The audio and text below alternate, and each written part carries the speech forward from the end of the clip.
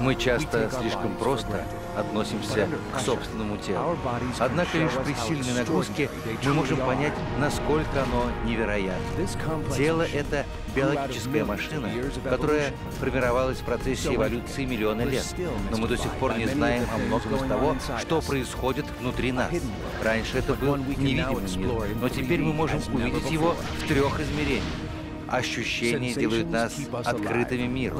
Благодаря им мы видим, слышим и осязаем то, что происходит вокруг нас.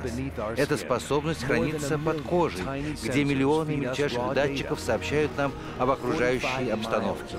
72 километра нервных волокон позволяют нам с невероятной скоростью отвечать на раздражители и на опасность. Когда на нас нападают, то именно они становятся первой линией обороны.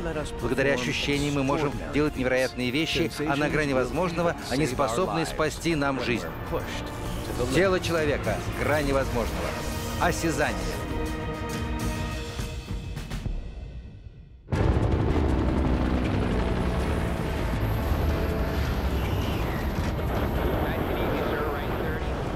В самом сердце шторма пилоту необходимо управлять семитонным вертолетом с невероятной точностью.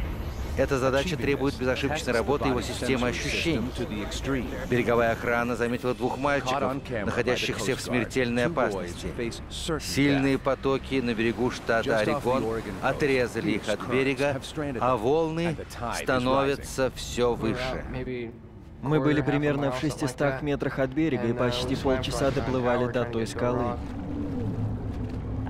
Я очень устал и думал, что у меня не хватит сил, и я утону. Еле-еле доплыл до той скалы.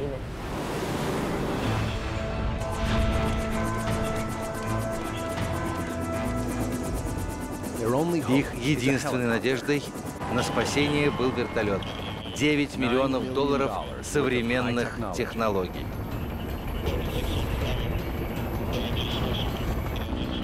Но при таком сильном ветре важен не столько сам вертолет, сколько гораздо более сложный механизм, состоящий из полумиллиона микродатчиков и подключенный к самому совершенному коммуникационному устройству в мире. И находится этот механизм внутри пилота. Каждый из нас оснащен целым арсеналом невероятных устройств. Например, у нас есть рецепторы, рецепторы прикосновения, которые могут зафиксировать даже взмах крыла мухи. Пилот Мэг Грингрич должен будет полностью положиться на свои рецепторы, чтобы спасти мальчиков. Ветер дул со скоростью примерно 60 км в час, а вокруг были скалы. Я был напряжен до предела. На каждом квадратном сантиметре кожи расположены 100 рецепторов прикосновения.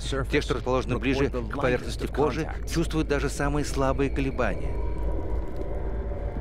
Другие, которые находятся глубже, распознают лишь продолжительное и сильное воздействие. Они посылают сигналы в мозг Мэтта посредством нервной сети. За доли секунды мозг дает указания двигательным нервам, обеспечивая точные движения рук, которые лежат на штурвале. Каждая рука управляется четырьмя тысячами нервов, которые помогают пилоту ровно держать вертолет над скалами. В то же самое время другие рецепторы продолжают снабжать Мэтта информацией. Он должен следить за десятком приборов в кабине и за горизонтом. Кроме того, ему нужно слушать сообщения остальных членов команды о том, что происходит внизу. При этом рецепторная система Мэтта должна вычислять и сопоставлять высоту, скорость и положение вертолета. Этого не смог бы сделать ни один компьютер в мире. Немного назад. Хорошо, уже почти там. Сейчас не существует автономного механизма, который мог бы одновременно совершать такое разнообразие действий, оценивая при этом возможные последствия каждого из них. Аккуратно. 30 направо и 15 вперед. Зависни. Скорость сигналов, которые идут по нервам Мэтта, играет важнейшую роль. Отлично, молодец. Именно благодаря скорости реакции пилота спасатель не разбивается о скалы. Все, зависни, стой. Посмотрите, как необычно устроена нервная система, которая позволяет нам быстро реагировать на раздражители. Нервы состоят из тонких клеток, длина которых достигает 90 сантиметров. По ним электрический импульс идет в мозг. Ключевые нервы окружены жировой прослойкой, которая выполняет функции изоляции.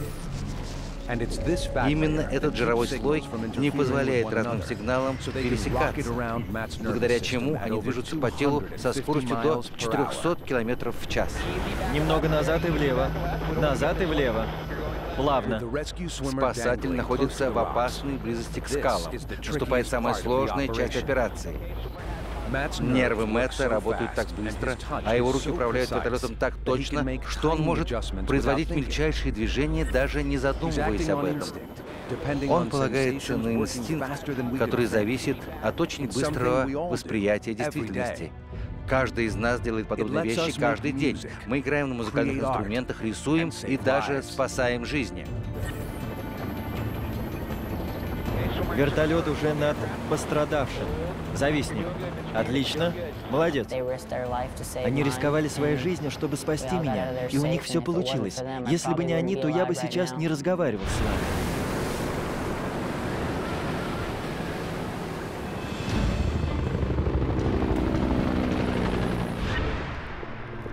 Этот лес рецепторов прикосновения позволяет нам мгновенно реагировать на все, что происходит вокруг нас. Однако они распределены по коже неравномерно. В наших руках в сто раз больше рецепторов, чем на задней части ног. Они располагаются там, где больше нужны. Если бы размер соответствовал количеству чувствительных точек, то мы бы выглядели примерно так. Губы и язык были бы в два раза больше, как и руки, пальцы и стоп. Рецепторов тепла больше всего на кончиках пальцев, на носу и локтях. Они играют важнейшую роль.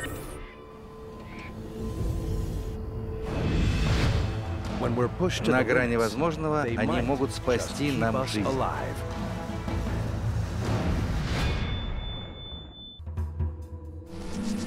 Каждую секунду нервы доставляют в мозг разнообразные ощущения. Мы не осознаем этого, но эти сигналы управляют нашим телом. Когда жарко, рецепторы и нервы совместно обеспечивают наше выживание. Температура в австралийской пустыне может достигать 54 градусов. Не самое лучшее место для аварии. Но она уже произошла у Мэтта Макгоу и его дочери Шеннон. Они находятся в 160 километрах от ближайшего населенного пункта. Жара такая сильная, что если положить на камень кусок говядины, то он поджарится за 4 часа. Однако Мэтью и Шеннон находятся здесь уже 8 суток, и они до сих пор живы. Спустя мгновение после поломки пикапа их тела приступают к работе по поддержанию средней температуры в 37 градусов. Это возможно благодаря тысячам мельчайших рецепторов тепла, которые провоцируют работу процесса охлаждения. Когда кожа нагревается выше 33 градусов, рецепторы сигнализируют мозгу об этом. Центральный термостат использует окружающие нервы, чтобы запустить процесс охлаждения. Через час они уже обильно потеют, ведь потоотделение — это самый эффективный способ охлаждения тела. Под нашей кожей находятся миллионы мельчайших потовых желез. При нагревании кровеносные сосуды расширяются, и кровь вместе с теплом оказывается ближе к поверхности кожи. Потовые железы выделяют из крови воду и выносят ее на поверхность. При ее испарении температура тела понижается. В обычных условиях мы выделяем около литра пота в день. Но в экстремальных ситуациях этот объем сильно увеличивается. Этот мужчина при беге выделяет огромное количество тепла. Кроме того, в это же время увеличивается температура в комнате. Вырабатываемый пот, который испаряется с поверхности кожи, позволяет телу избавляться от тепла, которое накапливается в результате физических нагрузок. Сейчас мы видим, что выработка пота перестала увеличиваться, значит, потоотделение достигло своего пика. Бегун уже достиг порога потоотделения в 2 литра в час. Но вода не берется из ниоткуда. Человеческое тело на 75% состоит из воды. Каждому из органов нужна определенная часть этой воды, чтобы выжить. В обычных условиях, если мы не испытываем жажду, то воды хватает и на охлаждение. Но через четыре дня пребывания в австралийской пустыне у Мэтью и Шеннона заканчивается вода.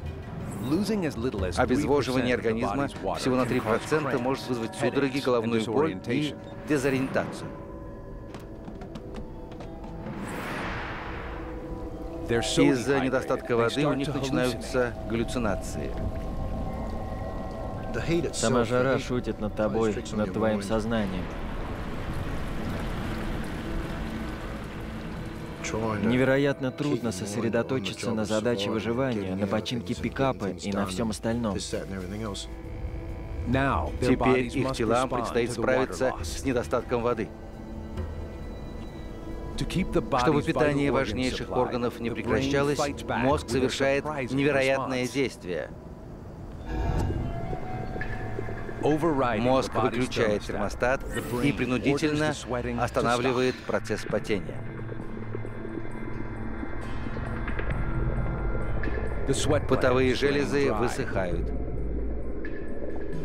Затем нервы заставляют другие части тела всасывать воду обратно в сердце, легкие и почки. Кровь сгущается и свертывается. Вода поглощается из толстой кишки, из-за чего возможен запор. Высыхают даже глаза. Мы вместе плакали, думая о том, удастся ли нам встретить Новый год и увидит ли маму Шеннон еще раз. Если бы в нас еще оставалась влага, то слез было бы целое море, а так их не было вообще. Я помню, что во рту все пересохло, и невозможно было даже сглотнуть, потому что слюны просто не было. Язык тогда оказался кирпичом во рту. Шеннон и Мэтью уже почти истощены, однако их организмы поддерживают в них жизнь целую неделю. Все благодаря тому, что тела находят прекрасный компромисс между жаждой и необходимостью охлаждать тело. Кроме того, мозг провоцирует инстинкт выживания. Они закапываются в землю, отгораживаясь от пекла снаружи. Этого достаточно для спасения.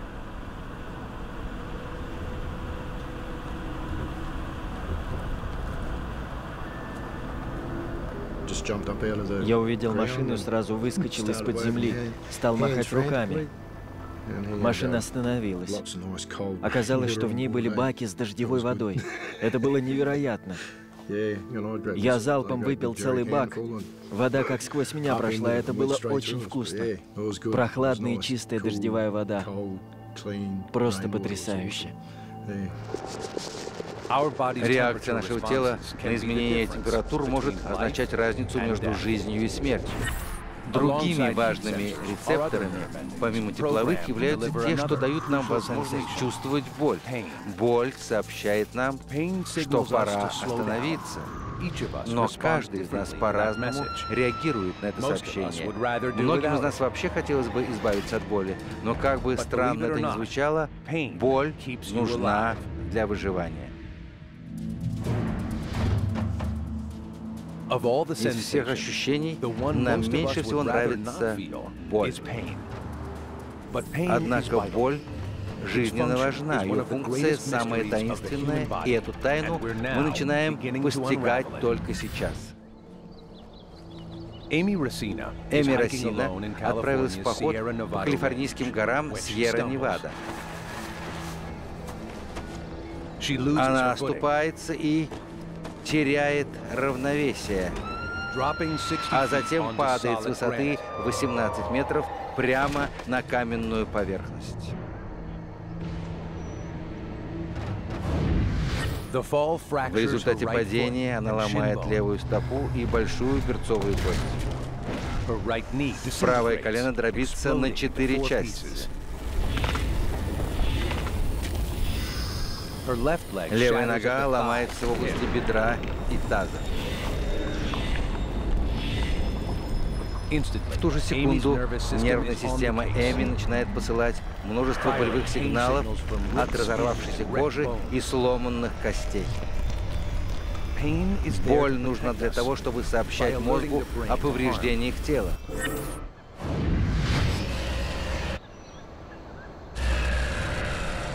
Любая травма вызывает химические реакции в болевых точках. Они посылают электрические импульсы в нервную систему, по которой они доходят до мозга.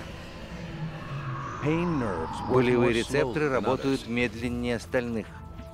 Сигналы сообщения о тупой пульсирующей боли работают так медленно, что, получив травму, мы не сразу ощущаем ее.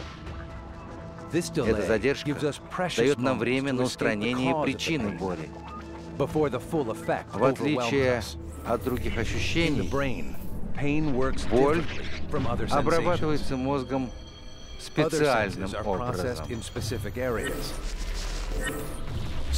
Зрение, слух. И осязание воспринимаются отдельными участками мозга. А боль затрагивает сразу множество точек, причем у разных людей они не одни и те же. Боль это ощущение, которое распознается мозгом. Мозг интерпретирует травму в виде боли. Именно поэтому у разных людей разная боль. Мне нравится проводить параллель с картиной. Если на картину смотрят двое, то одному она безумно понравится, и он будет готов потратить на нее хоть 20 миллионов долларов, а другой вообще не оценит ее и не станет рассматривать.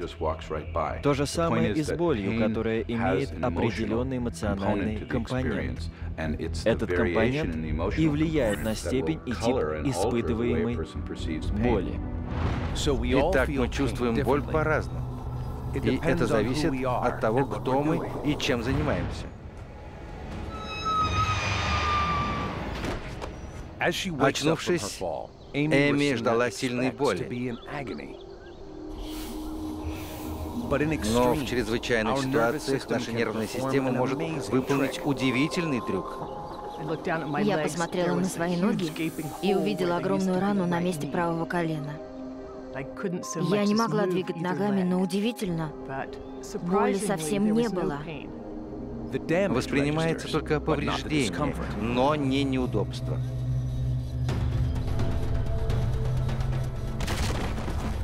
При касании болевые рецепторы начинают посылать сигналы.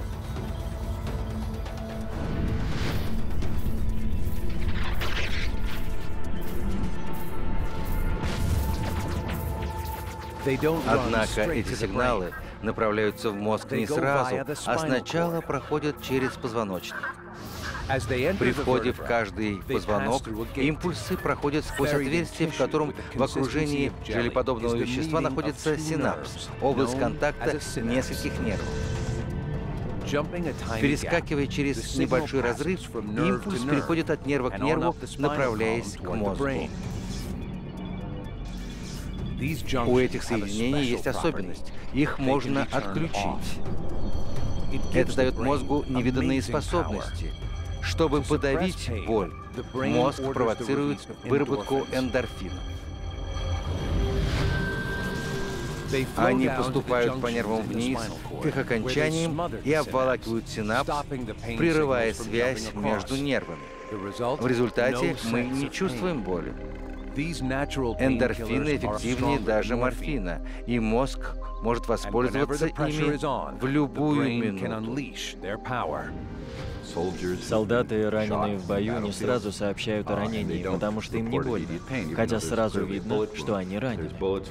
Когда над головами летают пули и жизнь находится в опасности, мозг справедливо решает, что это не время для боли.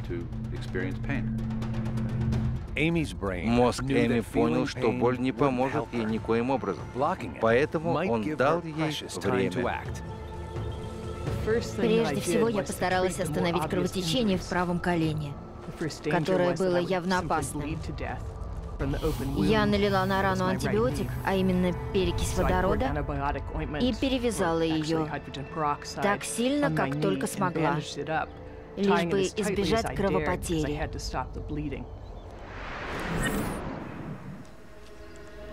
Рассчитывать на постороннюю помощь не приходилось. Чтобы обрести надежду на спасение, Эми нужно было спуститься с горы и добраться до дороги. Но чем ниже она спускается, тем сильнее становится боль. Помню, когда я пыталась перебраться через небольшой ручей, я неловко повернула бедро, и мне стало так больно, что я подумала, все, сейчас я потеряю сознание. Но этого не произошло. Ведь я понимала, если это действительно случится, я просто утону. Я ощущала боль, но она не смогла взять контроль над телом. Искалеченная и истекающая кровью, Эми продолжала спускаться целых два дня. Боль не так сильно беспокоила ее, благодаря эндорфинам, которые вырабатывала нервная система. Когда Эми, наконец, спасают, она расслабляется. Выработка эндорфинов прекращается, и боль становится сильной, как никогда.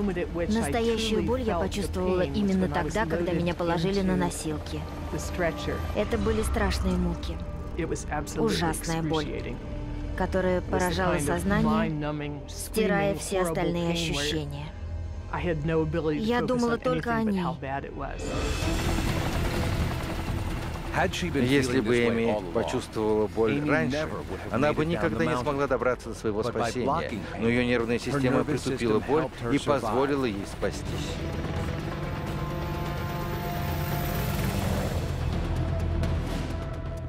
После восьми операций Эми снова начала ходить. Ее случай поразителен, но не уникален. Если того потребуют обстоятельства, нервная система любого из нас сможет остановить боль. Однако тело не всегда стремится нейтрализовать боль. Иногда нервная система даже усиливает ее. Причем это может спасти вашу жизнь.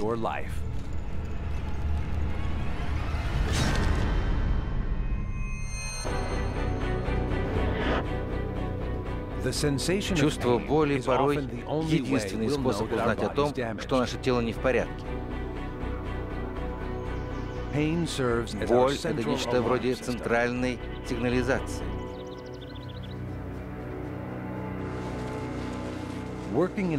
Дэвид Эдгар работает в сарае своей фермы.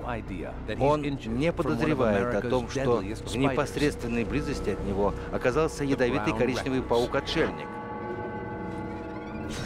Эти маленькие пауки редко нападают на человека. Но сегодня Дэвиду не повезло.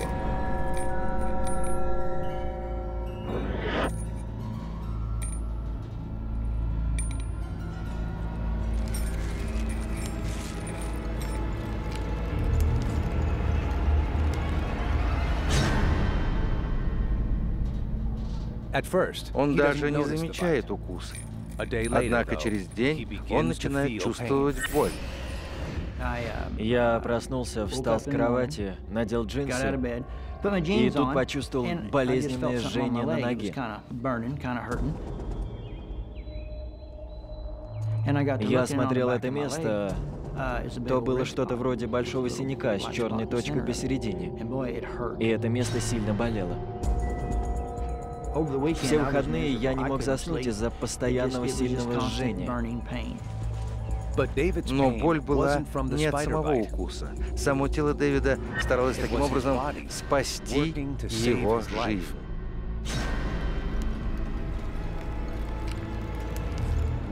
Когда целостность кожи нарушается, как, например, при порезах или укусах, тело немедленно реагирует на это.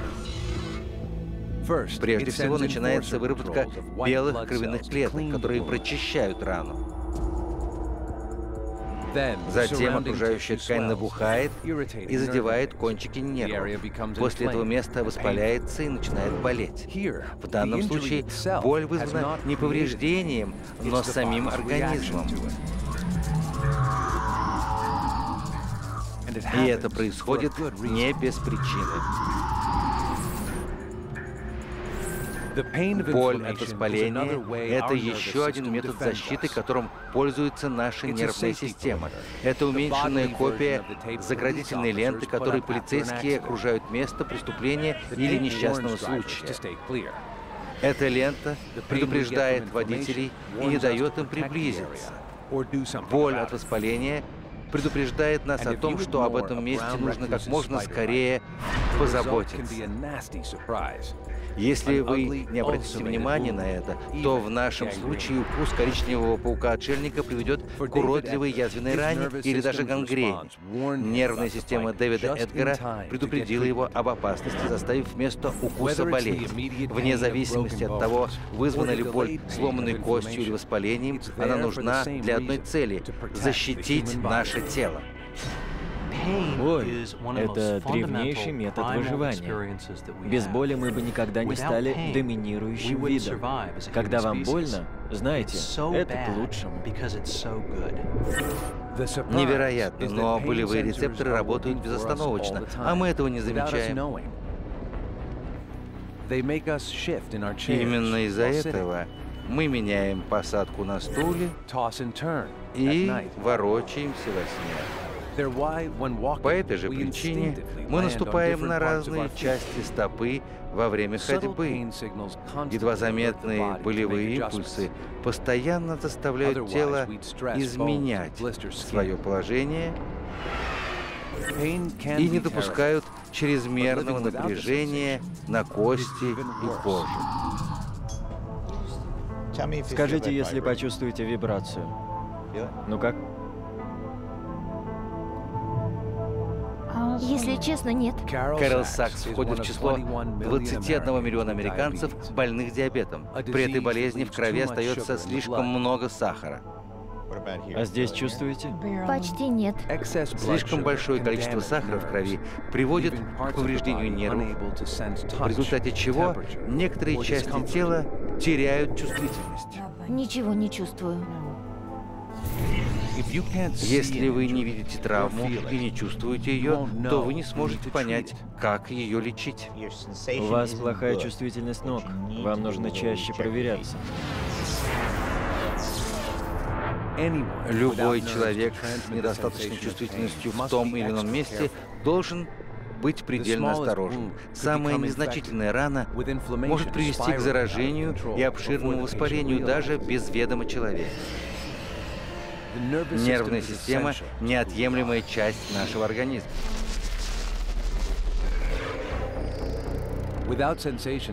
Без таких ощущений, как боль, тело буквально развалилось бы на части. Эта переплетенная система функционирует порой странно. Из-за нервов мы можем почувствовать ложное удушье, проснуться в холодном поту или даже раскрыть свои тайны.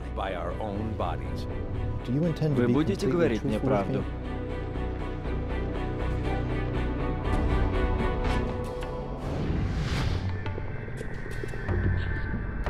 Ощущения нужны нам для восприятия окружающего мира. Но при определенных обстоятельствах этот процесс работает наоборот. Нервы рассказывают миру о вас.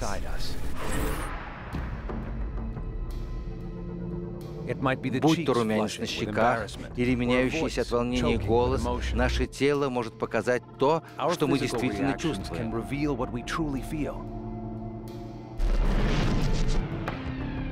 Многие уверяют, что нервы могут даже показать нам, лжет человек или говорит правду. Обычно, если человек начинает лгать, то он потеет.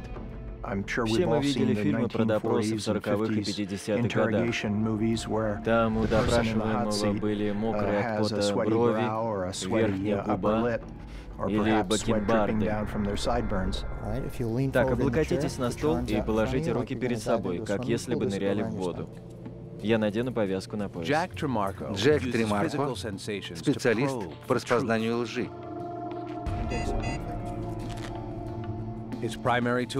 Его главный союзник — детектор лжи или по-научному полиграф.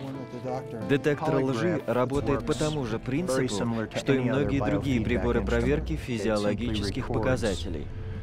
Он просто показывает отклонение от физиологической нормы данного конкретного человека, например, резко меняющееся давление, увеличившийся пульс или обильное потоотделение.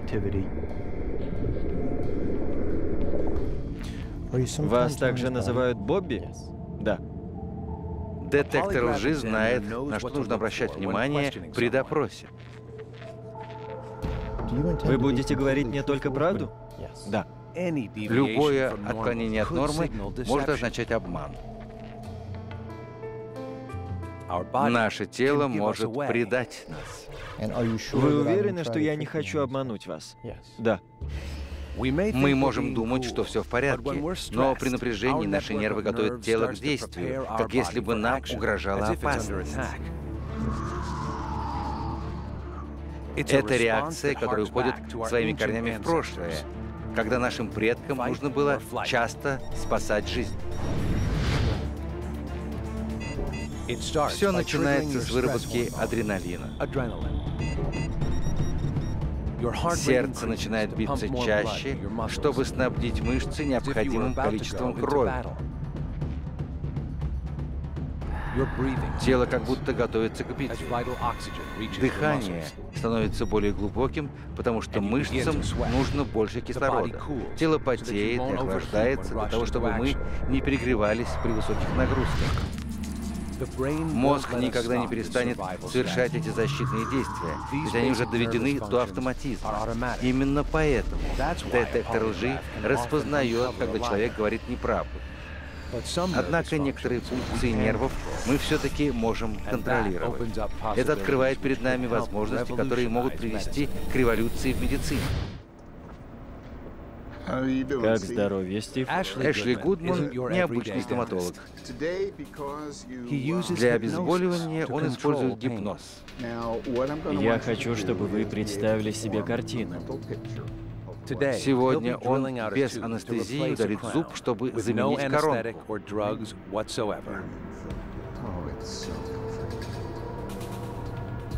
Боль — это ощущение. Реальность это тоже ощущение. Так что мы можем изменить восприятие человеком реальности глубже и глубже. С началом сеанса гипноза доктор Гудман полностью меняет у Стива Файна восприятие мира. Видите, как волна за волной, с каждым вздохом к вам приходит расслабление. Вы освобождаетесь от всего, что произошло с вами сзади, и дышите глубоко. Вы чувствуете себя в безопасности. Вам приятно. В мозгу Стива происходит невероятная вещь.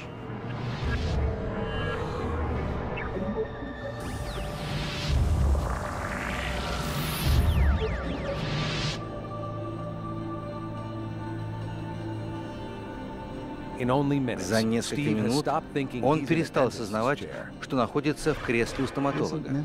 Вашему сознанию не обязательно оставаться в этом помещении. Ваше тело остается тут, но сознание может улететь туда, куда вы хотите.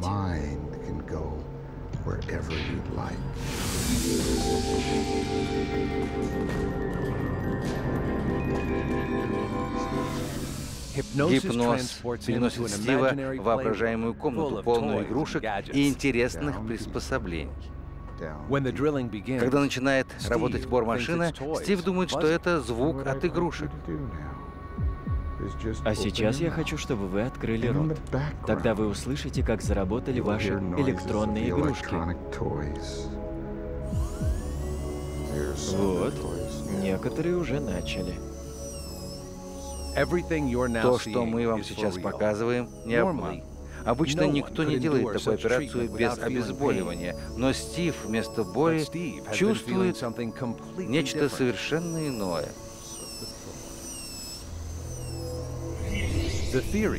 Гипноз влияет на эмоциональный отклик мозга, на дискомфорт.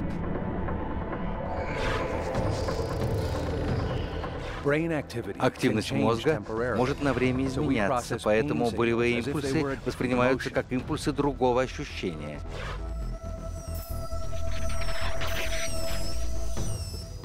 Когда бормашина дробит эмаль, болевые рецепторы посылают импульсы по нервам. Но внутри самого мозга информация о боли трансформируется в информацию о чем-то приятном. Через 45 минут доктор Гудман выводит пациента из состояния гипноза. На счет три вы проснетесь бодрым и здоровым. Раз, два, три.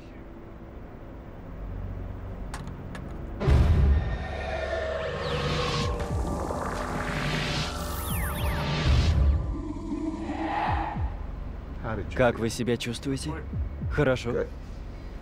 Отлично. Уже все. Сеанс гипноза был проведен успешно. Нервную систему Стива удалось обмануть.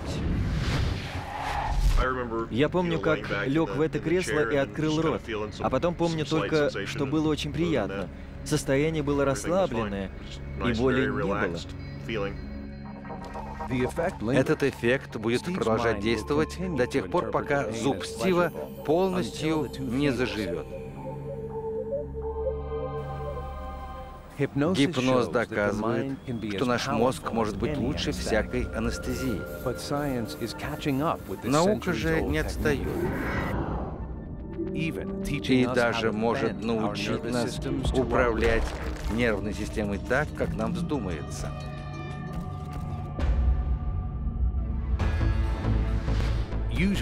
Обычно мы не можем контролировать ощущения, которые связывают нас с окружающим миром. Но наука может изменить это утверждение. Девять лет назад Лора Тибетс упала с лошади во время съемок рекламы. Ей удалось поправиться, но плечо болит до сих пор. Я перенесла две операции и физиотерапию. Пробовала иглоукалывание и массаж. Теперь моя постоянная работа — это защита от боли. А мне, как и другим, хочется заниматься своими делами и идти дальше по жизни. Лора до сих пор хочет найти способ преодоления боли, которая никогда не проходит. Возможно, теперь ей удастся получить контроль над этими ощущениями. Китайские шаолинские монахи известны не только своим мастерством рукопашного боя и акробатикой, но и способностью управлять ощущениями.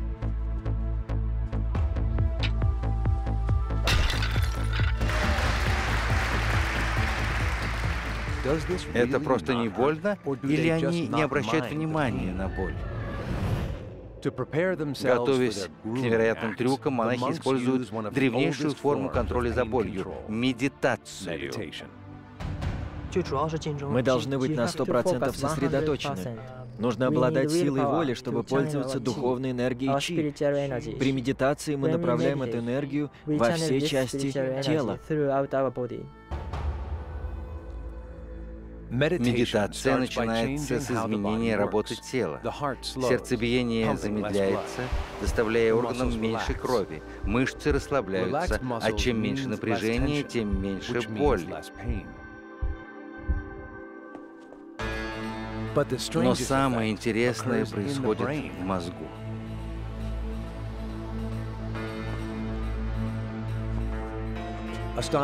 Хотя мозг продолжает работать, его эмоциональная реакция на боль уменьшается после медитации. Это все равно, что уменьшить громкость звука.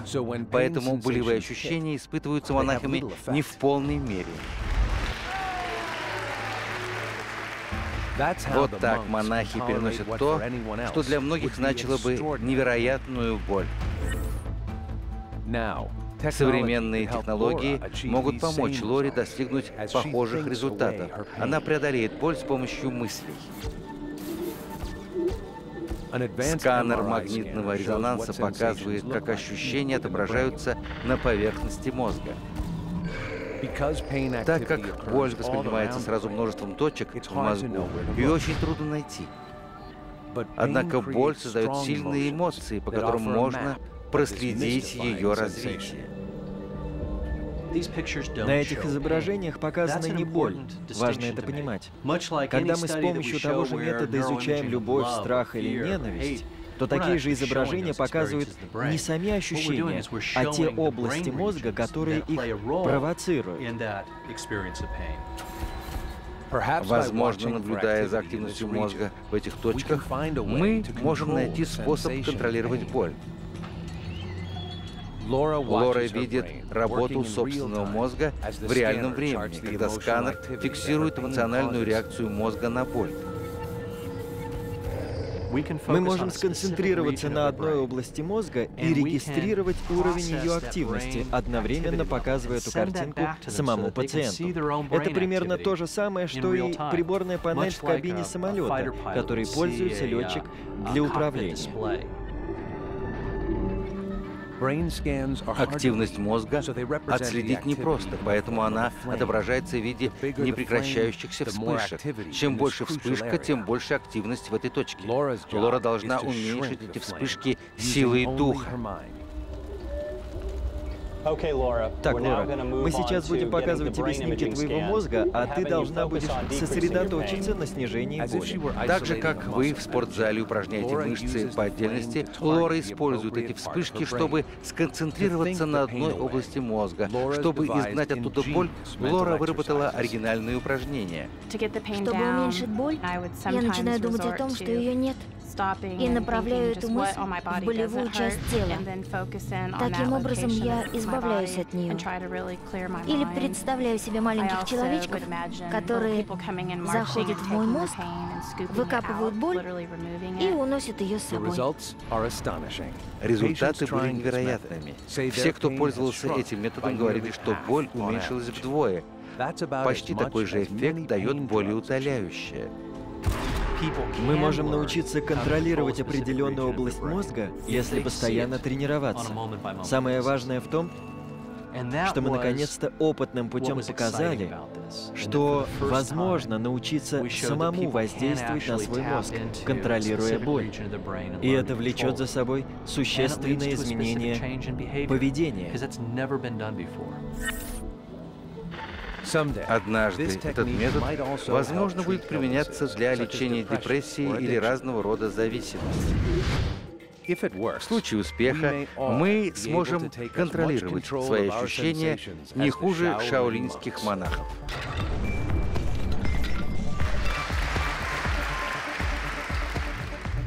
В общем и целом, тело человека состоит из огромного количества нервов. По ним проходят ощущения, которые держат наш организм в гармонии.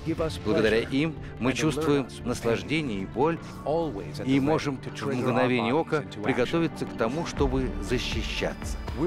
Мы еще не закончили изучение всего потенциала наших ощущений. Чем дальше мы отодвинем грани возможного, тем сильнее станет наш собственный супергерой — тело.